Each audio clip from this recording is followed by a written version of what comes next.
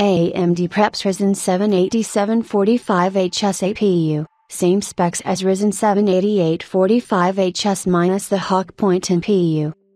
AMD is preparing a new Hawk Point APU under the Ryzen 8040 family, the Ryzen 7 8745HS, which will reportedly feature no INPU.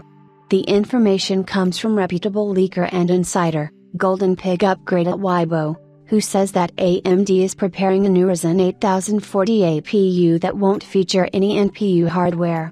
The new APU will feature the same specs as one of the SKUs that's already been released, the Ryzen 7 8845HS, and will target the mobility platforms with better value.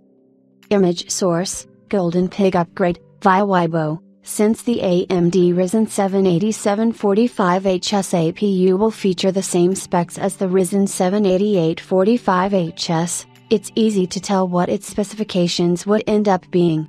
We are looking at 8 cores based on the Zen 4 core architecture with 16 threads, 16 MB L3 cache, and 8 MB L2 cache.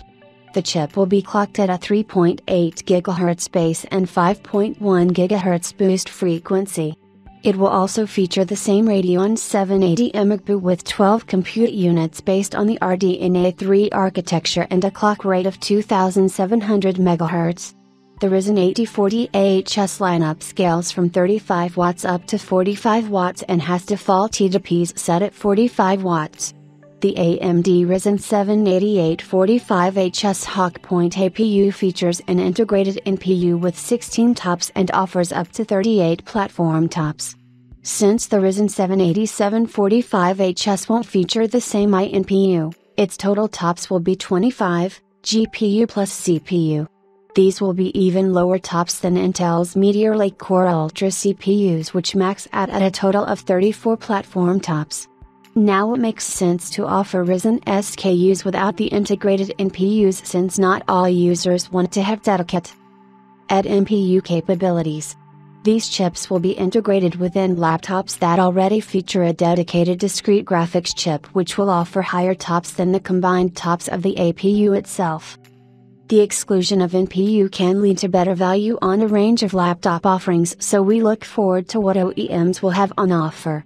AMD's Strix Point APUs are also coming out later this month which will extend the AI leadership with 50 tops from the NPU alone and up to 80 combined tops.